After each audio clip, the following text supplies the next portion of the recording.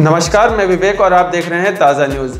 दोस्तों, हिंदुस्तान की सबसे बड़ी कंपनी रिलायंस इंडस्ट्री का शेयर आज सुबह 6 परसेंट तक गिर गया और इसका कारण रहा मुकेश अंबानी की तबीयत। दरअसल, पिछले कई दिनों से सोशल मीडिया पर इसकी चर्चा है कि रिलायंस के मालिक मुकेश अंबानी की तबीयत बहुत खराब है। लंदन में उनका ऑर्गन ट्रांसप्लांट हुआ है, जिसके कारण वो आईपीएल में भी नज़र नहीं आ रहे हैं। उनका तीस किलो वज़न भी घट गया है।